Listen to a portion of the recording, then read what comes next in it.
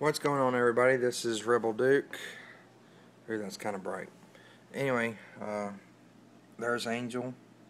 In the light it looks kind of green and then sometimes the way it looks it's blue. So, I mean, I like it. It's pretty cool. Um, today is Friday. I'm going ahead and uh, putting my uh, male and female betta in the uh, breeding tank. And uh, I was going to do a quick video of uh, how to do it. Um, first, after you've conditioned them for a week or so, uh, with uh, frequent water changes because it stimulates the uh, bettas to breed. Anyway, what you want to do first is either get a net or use your hand. I prefer to use my hand because nets are rough and it may tear their fins or whatever. And if you look at his fin real quick, see how it's torn? My African dwarf frog uh, thought it was a worm because him and the betta like to be beside each other and uh, figured he'd try fish for a change. But anyway, back to subject. So I'm going to do this with uh, one hand. Sorry if the phone's not steady. You want to reach in here very gently. Here's real fast. Come here.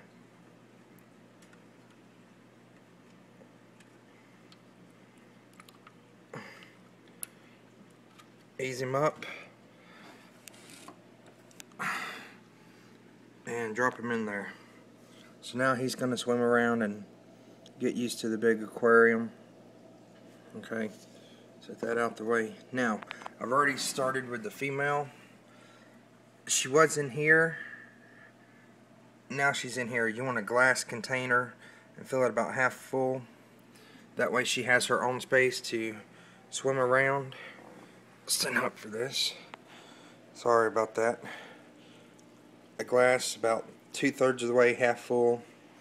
And you're going to set her in the opposite side of the aquarium. Now see, the water levels are about the same. So she'll stay in there until the male betta gets through blowing his bubble nest. So uh, that's how you introduce them. And uh, I'll have uh, more videos of showing how you know that the female is ready to uh, breed. So if y'all just be patient with me and uh, I hope y'all enjoyed the video and uh, please rate, like, comment if you want to. If you don't, that's fine. It ain't no big deal. But uh, that's how you put them in the uh, breeding tank for them to uh, finish getting ready to spawn. So y'all have a good day.